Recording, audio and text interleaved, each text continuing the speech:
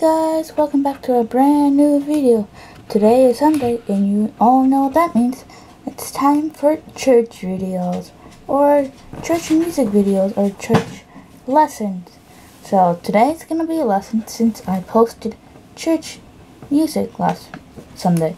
So I'm gonna read some commandments and these are the 10 commandments you should always follow.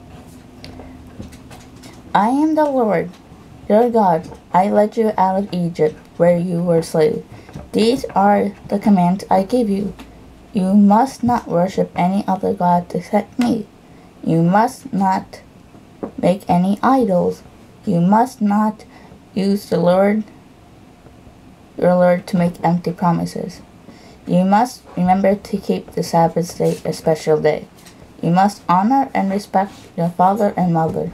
You must not murder anyone. You must not commit adultery. You must not steal. You must not tell lies about other people. You must not want to take your neighbor's house. So, those are the Ten Commandments. So, hopefully, I hope you guys like this lesson. And yeah, I know it's short and stuff. Yeah, but that's all I could come up with. And plus, it's a Sunday. I want to be with my family and enjoy. So I will see you guys in the next video.